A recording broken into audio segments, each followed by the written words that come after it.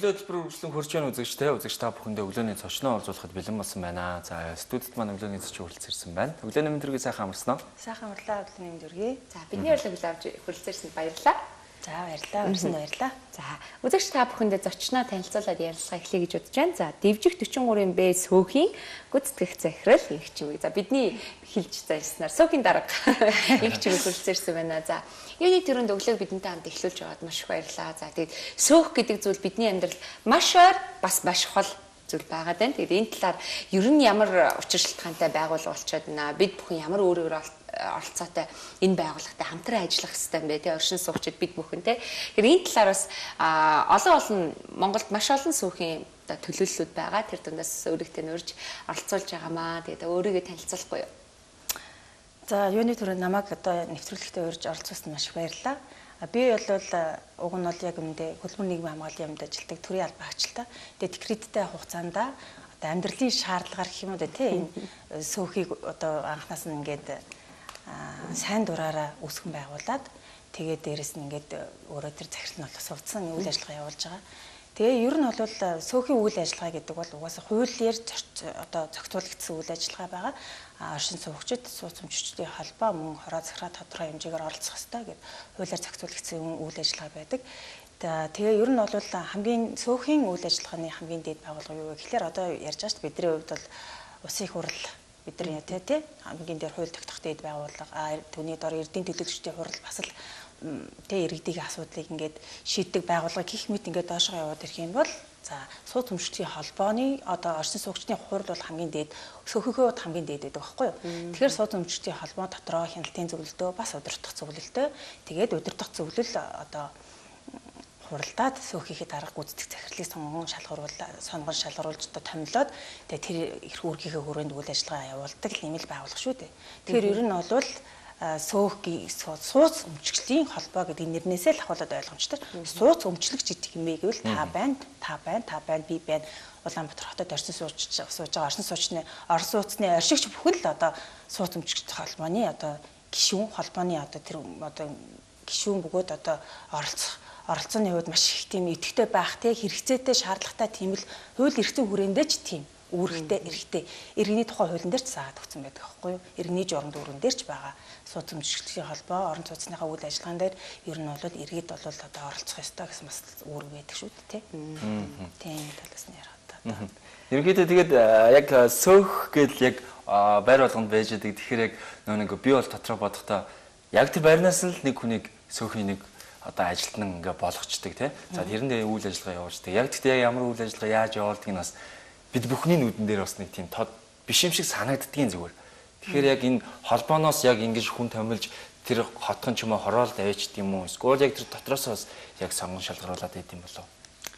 Яа яг зарчим бол адилхан шүү дээ. Хүний нөөцийн сонгон шалгаруулалт аливаа байгууллагын хувьд хүний нөөцийн байгууллага нь одоо сонгон шалруулах өөрсдийн хэрэгцээтэй байгаа хүний нөөц бага бүрдүүлээд ажилтдаг тал яг адилхан сууц өмчтөй холбоолсон мөн адилхан шүү дээ. Хин хаана хэрэгцээтэй тэнд үйлчлэгч хэрэгтэй юу, тэнд одоо захирал хэрэгтэй юу, тэнд одоо харуул хамгаалтын ажилтны хэрэгтэй юу, лифтчийн хэрэгтэй юу те. Бүхэл хэрэгцээтэй тэрийг бас л сонгон шалгаруулалт одоо шумаараа явна. За ер нь бол зүгээр л яг хуулийн хүрээс гадуур гэж ярих юм бол хүн өөрийнхөө юмдаа хандахдаа өөрөмсөг ханддаг шүү дээ. Ер нь бол давуу талтай. Би бол жишээ нь өөрөө байранда орсон суугч учраас одоо амьдралын шаардлагаар гэж ярьсан шиг өөрөө би ингээд байгаа тусмаа өөрийнхөө юмдаа ингээ өөрөмсөг хандах шиг нэрийдлэр би тэндээ өөрөө дотроо амьдарч ин дээрээс нь би одоо гүцэц захирлын хийж байгаа байхгүй юу. Тэрнтэй адилхан дотроо амьдарч байгаа хүмүүс хийх тусмаа давуу талтай. Илүү үр дүн үр дүн. Мэдээч шүү дээ. Ягаад гэх юм бол би өөрөө өөрийнхөө орсон сууж байгаа, өөрийнхөө хүүхдүүдийн тоглож байгаа талбай, өөрийнхөө амьдарч байгаа оршиж оршиж байгаа тэр шат одоо тий орцоо би гой байх хүс би гоё юм амьдмаар шүү дээ тийм биз дээ. Тэгвэл би өөрийнхөө юмд өөрөмсөг хандна шүү дээ. Энэ бол нэгдүгээр давуу тал. Гэхдээ бас аа сайн одоо бас тий өсөөхөн чиглэлээр бас ингээд итгэвтэй, зүтгэлтэй, сэтгэлтэй, туршлагатай, ур чадвартай ийм сайн сүнхний арга байдаг.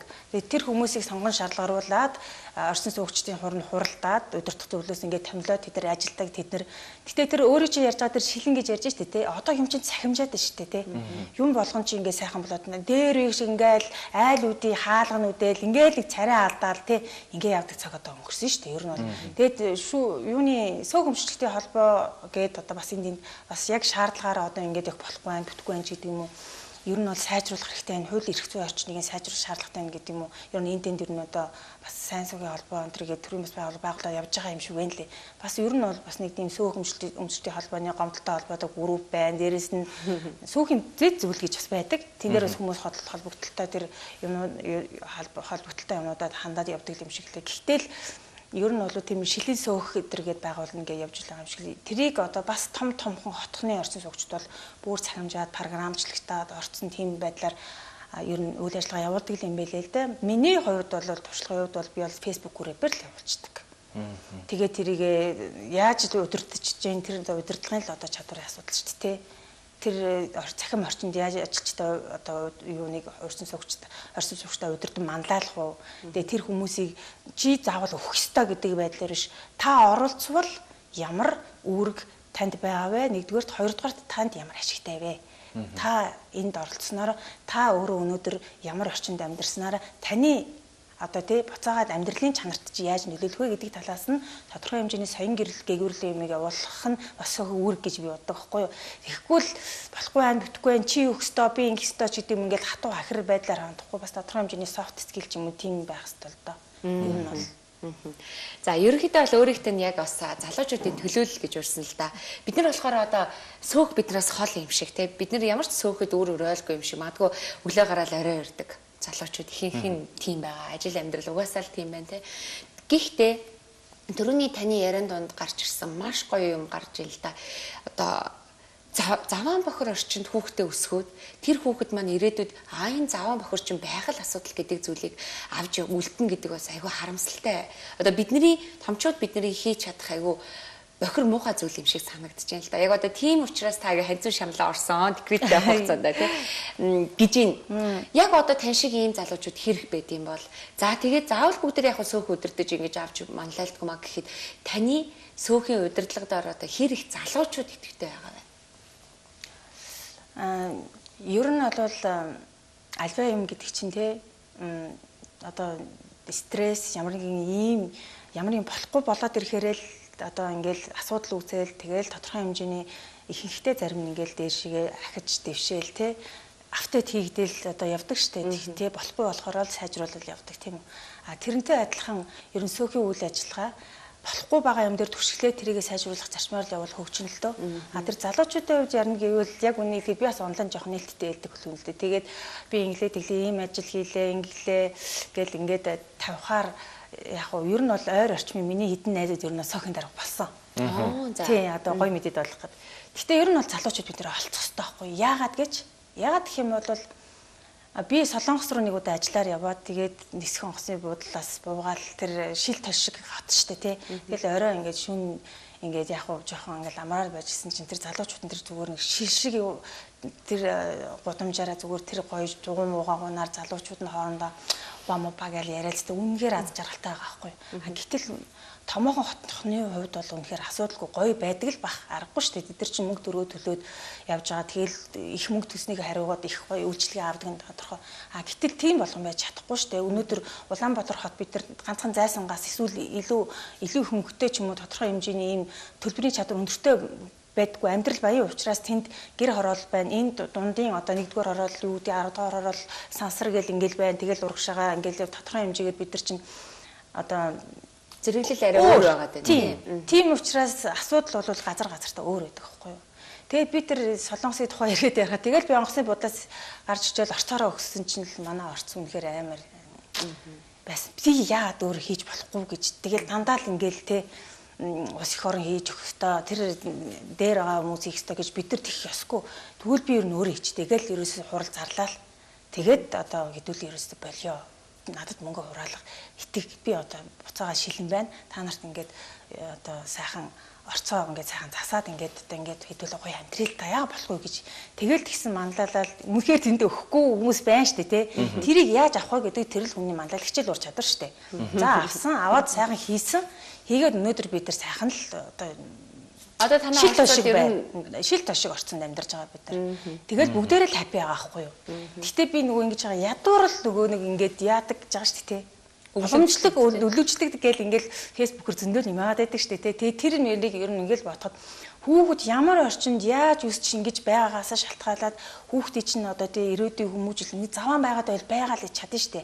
А үгүй ийм байхыг өсөхгүй байна. Бид нар бас хөгжмөр энэ гой орчинд баймаар байна. Хөгжмөр штэ дэгжмэр ш залуучууд бид нар гой хотод амьдрахыг хүсэж штэ тийм биз дээ. Тэгээд тэгэх юм бол өөртөө ингэж оролцоод тэгээд тэнгүүд тэр хүүхдүүдийг ч одоо яг үнийг итгэх зүгээр таалт хумсартанд сууж өгдөг гэж байгаа аахгүй бас тодорхой хэмжээний сэтгэл зүйн дээр судалдгийн хувьд. Тэгэхэд тийм учраас хүүхдтэй бид нар залхуурлыг өвлүүлмэрэг байна. Тэгээ бохир заваан байдлыг өвлүүлмэрэг байна тий. Охид хүүхдүүд маань орцоороо ороход гой гэрэлтэй гэгээтэй айдсгүй айдсгүй цэвэрхэн орчинд баймаар байна. Хүүхдүүд бүгдээрээ гой цэвэрхэн юм харж өсмөр байна энд орцонд нь орсон ч бөбөөчд орилж чалаад байвал хин яах юм бэ? Тэр аюулгүй байдлыг хэн хангах юм? Тэрийг сөө хангах хэрэгтэй. Бид нар ээж аав нар бид нар хангаж өгөх хэрэгтэй байхгүй юу? Ээж аав нар хийн ингүүл залуучууд бид нар дандаа л нэг их чах нартаа найдсан тэгэл нөгөө эдигээ үл хүндэлсэн байдалтай тэгэл өвдөггүй хариуцлахгүй юм байдаг байдлыг болио л доо тийм биз дээ. Тэгэхээр яг хөө зүгээр аль аль талын асуудал байгаа юм. Нэгдүгээр тухамсрын асуудал байна, хоёрдугаар гэх юм бол хууль эрх зүйн асуудал. Сайжруулах хэрэгтэй байна. Би бас яг цөөх идэг болсноос хойш ер нь бол айгүй их асуудалтай. Ер нь сайн талч байна хэцүү юм байна байна. Тэр төлөгийг туучаал даваад явж. Тэгээд би ер нь ингээл харахад харж л байхад энэ цөөхөн ажлыг хийдэг захирал ихч нар ах нар одоо ингээ үеийнгийн хүмүүс байлаа гэхэл үнэн сэтгэлээсээ хийдэг тэр хүмүүс үнэхээр л одоо дайчин их оржууд л аахгүй юу. Хотын хөгжлөнд илүү тэд нар санаагаа жилээгээ сууж ийн. Тэгэл дандаа л тэд нар дандаа л бүүшээ ирдэг шүү дээ. Өөдөөс нь дандаа тэд нар чинь чи өөхгүй байх, чи өвдлээ уулаа, эн чинь ч болохгүй байх, тэр чинь ч усаалдлаа, эн чинь ч болохгүй байх. Харуул хамгаалт чинь ч юу хийдгийг. Манаас манах мануханаа сууж идэг ч их мэдчихлэн. Ийм асуудал бол байдаг, зөндөө байдаг. Оршин суугчдын зүгээс үргэлжийн мөнгө хардталтай байдаг энэ юм хийхгүй мөнгө аваа сууж байгаа, идж байгаа ууж байгаа л гэж хардаг. Үнийг хэлэхэд тэр жоохон мөнгө чинь буцаагаал хуран хүмүүсээ ууглаад гарах гал ингээл зохицуулж байгаа сайхан байхын төлөө явж байгаа. Тэр одоо сууц мөнгөчлийн холбоонд ажиллаж байгаа энэ одоо ялангуяа над шиг энэ захирал одоо их чинэр ах нар дарга нар энэ хүмүүсийг одоо бид нар дэмжиж ажиллах хэрэгтэй, ухамсартай байх хэрэгтэй. За яг хуу хардлаа гэж бодоход эргээд өөрсдөө бас шаардлага зөв тавьж хардах хэрэгтэй байх л та тий. За одоо бид нэр үнэхээр сар бүр айл бүр мөнгө өгөөд хахад манай орц шилтэл болохгүй байна уу тий. Лифт нь гацаад байна уу? Харуул хамгаалт муу байгаад байна уу? Үнэхээр асна алдаад байна. Үнэхээр асна алдаад байна уу гэдэг. Өөрөөсөө бидний ер нь эргэн тойрон зүгээр тав алхаад манай орц байгаа шүү дээ. Тэрийг хянах боломж бол хүн бүрт нээлттэй. Гэхдээ хяндгүй хэрнээ харддаг нэг ийм асуудал байгаа. Төрөн таны ярианд гарч ил л та хотыг хэн гоё болгох гэхээр яг нэг хотын дарга тий. Эсвэл одоо хин нэгэнд даргал гоё болгоно гэдэг ийм үзэлтэй хүмүүс маш их байгаад байна. Гэтэл уг нь бол хотын сайн иргэн бид нар бий болоод тий хот өөрөө хотод нэг ч одоо буруу зүйл үзүүлэхгүйгээр бусдтай үлгэр дуурайлалаад өөр хүүхэд хүүхэд багчууд залуучуудад бас бусдыгаа манлайлах нь уг нь хотын хөгжил юм болоо гэж боддог. Та энэ тал дээр ямар бодолтой байдаг? Би 100% санал нийлж байна. Тэр нэг лифт ярьжсэн шүү дээ. Би энэ дээр нэг хөрхэн жишээ дуртахад манай ер нь ойр татны маань нэг найзлаа олон жилийн өмнө байр худалдаж авчихсан. Тэгэл сөөх тог тасалчлаа ядраатай одоо ингээл өгдгүү маа ч гэсэн тийч юм ярьдаг л байсан. Тэгэл бишээ би тухайн үед ч мэддгүү л байл л да. Тэгээд тэгээд нэг ойрхон хугацаанд холбогдсон чи яа нэг лифт явдгүү те. Тэгээд тэгээд байраа өсөлгсөн чи лифт яахгүй одоо засваргүй явахгүй болохоор чи тэр дэшээ олон давхар ууч гарчихгүй болохоор нөгөө нэг түрээслэх гээд хүн олдохгүй нэ гэдэг ч байгаа байхгүй. Үнийг хэлэхэд байраа зас одоо нэг өөрөө ингээд оршин суугчд өөрөө мөнгөө тухайн одоо тэгээ хариуцлагатай төлж цууц өмчтөй холбоонд анхаарал хандуулж хяналт тавьж ядчил хуралдаа орж суудаг. Ийм байгаад өөрийн оролцоотой байгаад ирэх юм бол энэ хинт ашигтай гэвэл үнийг хэлэхэд бид нар ташигтай байхгүй. Орчин суугч бид нар ташигтай яагаад гэх юм бол байрны чинь үнэ цэн өснө байрыг бид нар өнөөдөр 10 төгрөгөөр авдгүй 20 төгрөгөөр авдгүй шүү дээ тийм үстэй бид нар хэдэн зуун саяар энэ амьдралынхаа турш бид нар байрны төлөө бараг л амьдрдаг гэж хэлэхэд хэсдэггүй бид нар ажил төрөл хийгээл явдаг Тэгтэл нөгөө байрны маань үнцэн маань өнгөд унаад байгаа асуудал юу вэ гэхээс өөхтөө өөртөө оролцдогтэй л холбоотой байдаг хгүй юу? Тэгээ би найздаа тэгж хэлж бор дотроо л үнэхээр найзаа чи хүртэх ёстойгоо л хүртсэн байна л гэж хэлчмээр санагдаж ирсэн. Ягаад гэвэл өөрөө мөнгө өгдөггүй ээж ч өнөөдөр яасан бэ гэхлээр эцсийн үр дүнд нь тийм л асуудалтай болчихж байгаа. Тэгээд жишээ нь одоо би тэгэл яаж байгаа юм? байраа засчихж байгаа. За тэгээд яг манайх хурш байртайгаа ингээл зэрэгэлдээ байдаг дундаа томоо гिचин цагаан тоглоомын талбайтай байсан. Нөгөөх нь баг социализмын үеэс ахвалаад автаа тийгдэг зүгээр шорон дээр хүүхдүүд пөргөжилээдэг тэгэл хүүхдүүд үүчин дайжин тоглолт толгой молгоо гармаараа бэртээхс наазахын асуудал. Тэгэл ерөөсө боли ингэхэ боли гэл би 4 жил хөөцөлдсөн тэгээд хинтээ яаж хөөцөлдөхөө гэдгийг хүмүүс мэдэхгүй. Ингэмээр байна тэгмээр байна тоглоомын талбай асуудал бол их мөнгө төсөв орно шүү дээ тийм үү. Их төсөв орох юм дээр хүмүүс яаж хөдөлтөх мэддэггүй байхгүй юу. Хинтээ хөдөлтөх гэхэлэр таны сонгосон иргэдийн төлөөлөгчдөг хурлын хүнтэйгээ иргэдийн төлөөлөгчтэйгээ харьцах хэрэгтэй. Тэрийн хийх сөөхөн нарах хэрэгтэй байхгүй юу. Аа тэгтээ тэрний доотлолт нь сөөхөн дарга хин шахах хэрэгтэй хин хийнэх хэрэгтэй уйл сууц өмчлөлт холбооны гишүүн буюу иргэн та өөрөө орон сууцыг зэмшиж өөрөө тэрийгэ шахах хэрэгтэй хянах хэрэгтэй тодорхой хэмжээгээр тэвнэдэ одоо идэвхтэйгээр одоо санал болгох хэвээр өөрийнхөө үзэл бодлыг илэрхийлэх хэвээр хуралдаа суух ёстой.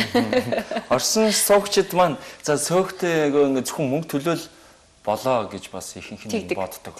Аа энэ мөнгөийг төлчихье гэх тээ. Тэнгүүт яг ямар оролцоотой байх хэвээр. Яг орсон суугчтай. Уг нь бол аж ахуй ажил мөнгөн дээр юм л да. Мөнгөө сар сар сартаа хариуцлагатай төлдөг байх гэдэг чинь маш том одоо оролцоо шүү дээ хамгийн чухал зүйл нь тэр байгаа. Үнэхээр чухал. Ягаад гэвэл үнэхээр нэгдүгээр кул байна. Иргэний журам дүргээ биелүүлж байна. Орсон орсон суугч байгаа хувьд одоо сууц өмчлөгийн холбоонд одоо өөрийнхөө төлөө хөрөнгө оруулалт хийж байна. Ухамсартай байна, хариуцлагатай байна тийм үү? Аа гэхдээ хүн болгонд тэр чинь өнөөдөр бид нар шүү дээ бүгдөө л орон сууцандаа гэртээ ингээд амьдраад ингээд суудаг мөртлөө суугаад амьдарч байгаа тийм үү? Аа тэгтээ хүн болгон чинь сөөгийн ажилд оролцох цаав байхгүй шүү дээ Тийм биз дээ. Би одоо жишээ нь өөрийнхөө үндсэн ажил руу очиж суухийн ажилд оролцоод тааж үнэхээр чадах мөнгө өгөө явж явах нь л одоо надад одоо том одоо одоо миний хариуцлага үүргээ биелүүлж байгаа л ажил ахгүй юу? Талах чинь талхаа хийдэг тийм үү? Үйлчлэгч нь үйлчлэгч хийдэг. Гудамж цэвэрлэл талбай цэвэрлдэг үнд гудамж талбайгаа цэвэрлдэг. Тэр урлаг уран сайхны өмнө урлаг уран сайхнаа хийдэг одоо соён гэгэрэлч хийж байгаа та сайхан соёлтой залуучууд маань энэ ажлаа хийгээ сууж байна. Тэнд сөөгийн ажил нь явж л байх хэвээр тийм үү? Хүн болгон тэрэн рүү ч ороод тахсгүй. Тэгэхээр бид нар дор дороо л үүргээ гүцэтгээд явж байгаа хэвээр. Гэтэл амьдрал одоо юуны нуруу одоо энэ ус эх орны чинь нуруу хотын хөгжлийн хиний нууран дээр яваад байгаа юм бигэл тэр хүмүүсийн чинь бидний муу мухаг холдуулдаг, зайлуулдаг, биднийг сайн сайхан орчинд амьдруулдаг хүмүүсийн нуруунд дээр явж штеп хоггүй хотод амьдрахын тулд хогтой шороотой балиар орчинд бид нар яаж гой дүрхэлтэйгээ гой цэвэрхэн утастай алхах юм бэ? Ямар ч нэмэргүй шүү. Хүмүүс заримдаа ингэдэг өөрөөгөө гэрийг тордоол гэдэг байраа засаал гэдэг те. Гэр нь бол өстэй үнэхэр супер дүпер заяа. Тэгэл сөөхөөгөө мөнгө өгөхгүй штэ.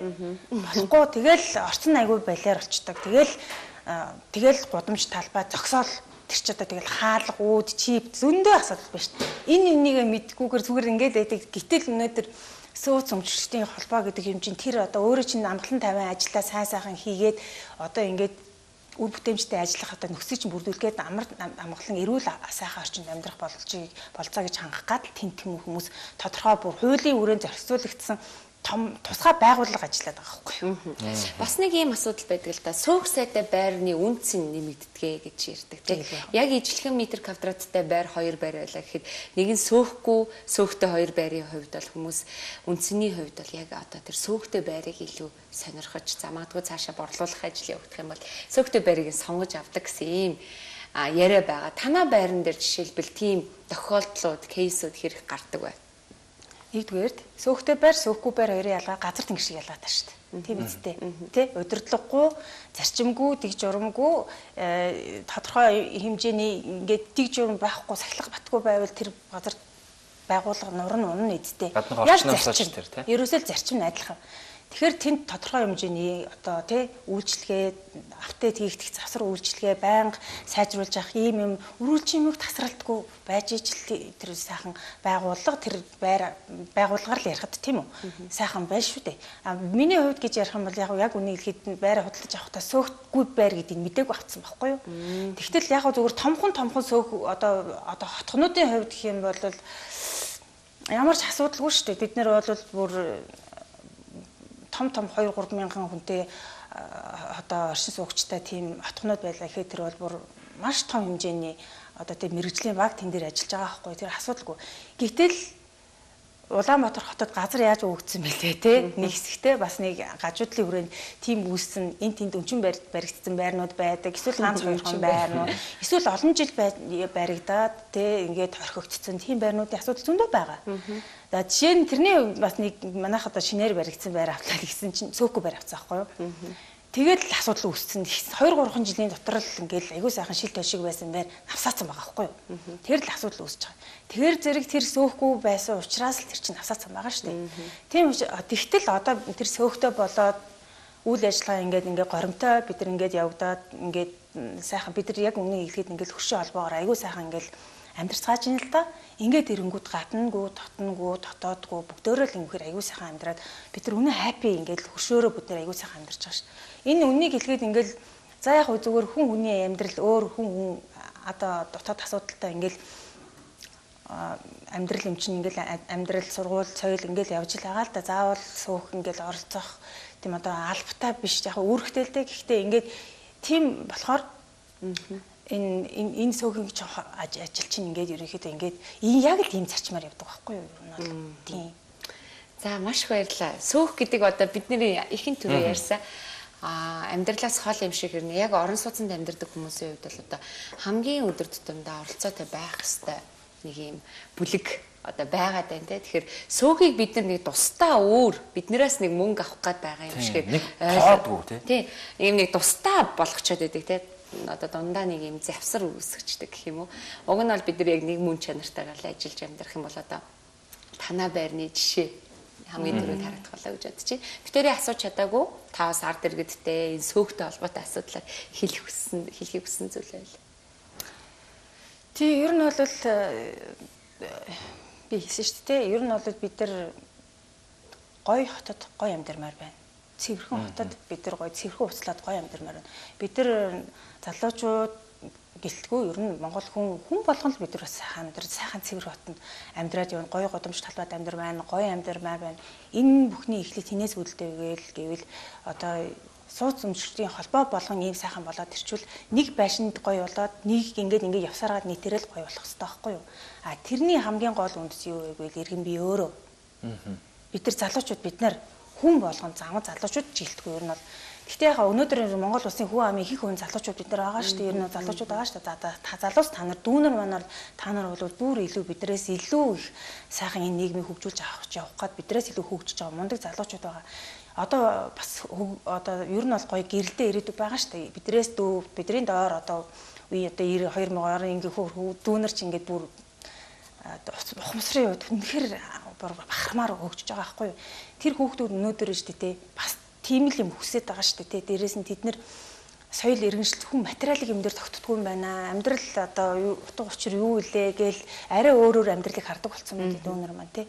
Тэгвэл одоо ийм утга учиртай амьдрах ийм юм дээр сөөхөг юм дээр оролцсон гэдэг чинь л одоо тэр өөрийнх нь үүрэг болно ингээл утга утга учиртай амьдрах өөрийнхөө өөрөөрөө бахархаж амьдрах тийм юм чинь болоод байгаа байхгүй юу? Ер нь бол нэгдүгээр хоёрдугаар одоо би яг сөөх хийдэг болоод ерөнхийдөө ажиглахад зарим нэгэн хүмүүс ер нь сөөхийн дарга гэхээр нэг жоохон нэг за тийм муугаар хэлэхэд нэг доод одоо хогш ороо дандаа бид нар болохгүй муур нохоо асуудал зөндөө бүхэл хүний амьдрал байдаг бүхэл одоо бидний тийм энэ одоо муугаар яд завхаар заваан бохиромтой зуралдаад байна шүү дээ. Энэ гэдэг утгаараач тийм үү ерөөхдөө жоохон үл хөндөлж харцдаг юм байна лээ. Би зүгээр ингээд харсад би өөрөө зүгээр ям тамган газар ажиллаад бидний хувьд бол яг үргэлжийн мөхөл ажлынхаа онцлогоос хүндэл хүлээж байдаг боловч ингээд сөөхөн ажил ажил хийгээд ирсэн чинь шууд ажиглагдчихж байгаа байхгүй юу? Гэтэл ийм биш битгий байгаа чи. Ягаад гэх юм бол таны одоо тий сайн сайхан ингээд ийм орчинд амьдарч одоо энэ эрүүл аюулгүй баталгаатай орчинд амьдрах хүний хамгийн анхан шатны те энэ хэрэгцээ өр хөвгтий чинь энэ ирээдүйд шаардлагатай ийм орчныг ингээд аваад явж байгаа энэ хүмүүс бид нар нэгдүгээрт бид нар хүндэл заавал хүндэл гэж бид тэр шахахгүй ч гэсэн энэ хумсрыгаа өрөөнд бид нар бас тэг хүндлээд ядчил шаардуулахгүйгаас сар сартаа сөхөөгөө мөнгөийг өгчдөг. Тийм байх хэвээр тодорхой хэмжээгээр энэ бол миний үүрэг юм аа. Би өөрөө оролцож ижил миний их орон сайн сайхан хөгжих юм аа. Иргэн өөрөө оролцсон дараа нь хөсөөхөн сайхан болон цөөх болгон сайхан болон хот хот талбай нь гоё болчлаа гэвэл тэгэл бүх бүхний тэрэл гоё болох үүсэхгүй шүү. Тийм биз дээ. Тийм учраас би нэгдүгээрт өөрөө иргэн та оролцоотой байгаараа, идэвхтэй байгаараа тэгээд залуучууд дүүнэр минь та нар энэ улс их орныг ирээдүг авч явах гэж байгаа. Одоо энэ мундаг залуучуудаа сөөхтөө оролцоод байгаараа улс их орныхоо ирээдүг та нар авч явах юм чинь итгэвтэй байгаараа иргэнийхээ журам дүргийг биелүүлээрэй гэж уриалмаар байна да. За маш их баярлалаа. За баярлалаа. За дэвжих 43 Б сөөхийн одоо гүйцэтгэх захирал их чиг бид бүхэн тавтай энэ өглөө эхлүүллээ. Тэгээд үзэгч та бүхэнд бас тулгамдж байгаа нэг асуудлын нэг байдаг л да хүмүүсийн сөөхийн асуудлыг үргэлжил ярьж идэг. Тэгэхээр та бүхэн маань сөөхтэй холбоотой одоо асуудлыг нүүр тулан уулзаад ямар үүрэг оролцоотой байхаа бас шийдээд те өөрсдийнхөө хотын энэ сайхан өнгө үзэмжнээс өмнө хувь нэмрээ оруулаарай гэж уриалмаар байна. За хамт байсан үзэгчтэй маш их баярлалаа. Өглөө хөтөлбөр маань энэ төрөйд өндөрлөж байна. Тийм маргааш үл иргэн уулзлаа. Тэр баяртай. Баяртай. Баяртай.